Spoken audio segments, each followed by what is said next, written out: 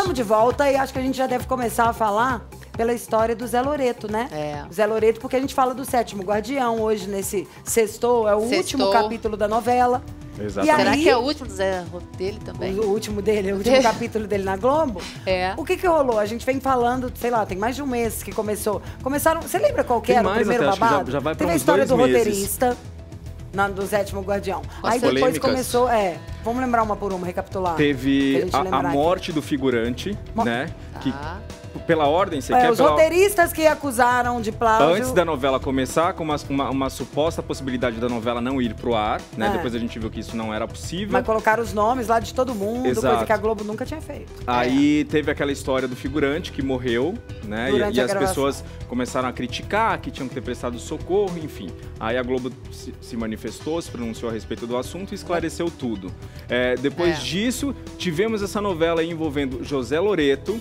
É, Marina Rui Barbosa Barbosa. e Débora Nascimento, onde a Marina teria sido o pivô da separação ali Gente, da Débora e do aconteceu de Loreto. tudo. Não, se a Exatamente. gente for parar pra novela- pensar, tem mais. Saiu na imprensa que teve a briga da Lilian Cabral com a Marina Rui Barbosa. Ontem a gente Mas falou o o principal negócio do foi o Caio surubão Blá. lá Mas do essa Fernando história do. Zé Loreto com a Marina que virou, Virou. uma realmente uma novela que foi repassada em vários cantos, sobrou pra E a muita gente gente. esqueceu Muita também gente. do Bruno Galhaço, que é um dos protagonistas Que teve da a novela. operação. E que teve que ficar afastado e o Agnaldo Silva rebolou ali pra conseguir é, cobrir o, o- o personagem Gabriel, que é o personagem É. do, Nossa, do Bruno. Quanto Aí bafo. vamos ver. Tudo que um ator quer é um contrato também, né? Não é tudo, mas claro que quando você é um ator, gosta de fazer telenovelas, Renovar, né? você quer renovar o seu Claro. contrato, pegar outras obras, ainda mais se tratando da maior novela, emissora de teledramaturgia do, Do país, Brasil. que é a Rede Globo.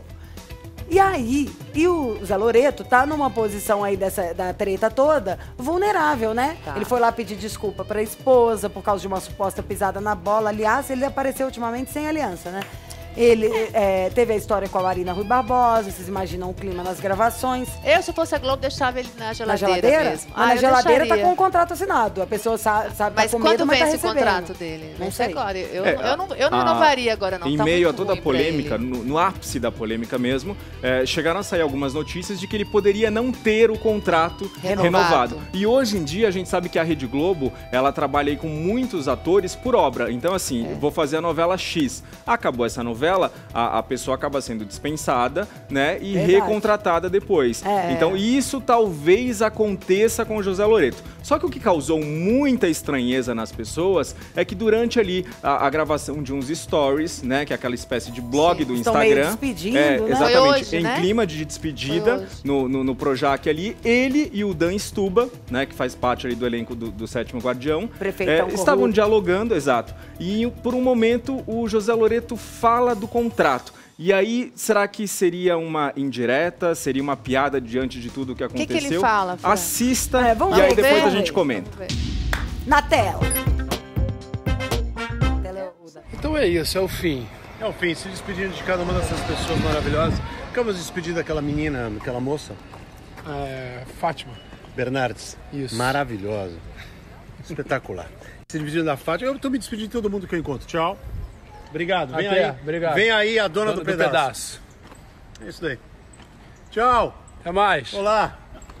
Estamos nos despedindo. Juliana Paz está chegando. É, vem aí. Vem aí. Vem aí. Tchau. Vem aí. Um abraço. Aí, Tchau. Obrigado, viu? Adeus, estúdio de Deus. É isso, é isso. Então, fica aqui junto, nosso adeus. Sim, mas mais pessoas aqui pelo caminho para nós darmos tchau. Ah, é? Então vamos dar tchau. Por último, a gente dá tchau à Rede Globo. Espera aqui. Ou um até logo. Tchau, tchau, obrigado. Vem aí Tchau. a dona do pedaço. Obrigado. Até logo, até logo. O Eurico não Tchau, saiu gente. de você ainda. Obrigado. Obrigado. E as, Obrigado pessoas, a e as pessoas estão, né, emocionadíssimas. Muito, virados de Vamos passar lá no Schroeder, no Chico, dar um tchau? Claro, claro. Tchau. Tchau, seu Roberto. Até a próxima. Tchau, tchau. Valeu. E aqui fica nosso tchau. Isso aí. Ricardo Pra você que está Tchau. assistindo. você, meu Insta espectador. São milhões e milhões de pessoas. Chegando na catraca. Tchau, tchau, tchau, gente. Tchau.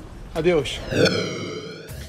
Bom. Ele foi irônico. É, vocês viram que a, a parte que nós esperávamos era aquela primeira parte lá, que já passou no comecinho, que era onde ele virava e falava, é, damos tchau à Rede Globo ou um até breve. Depois foi, eles foram dando tchau pra tanta gente, não sei quem, né? É. Foi uma Porque não indireta. passava ninguém ali em volta. Foi. Mas... Isso é o tipo da coisa que não se fala, tipo, ainda mais quando você espera. Por isso que nos chamou a atenção.